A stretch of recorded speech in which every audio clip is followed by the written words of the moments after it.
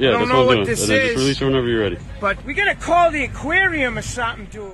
Oh man, look at this fucking thing. It's a baby fucking wheel, man.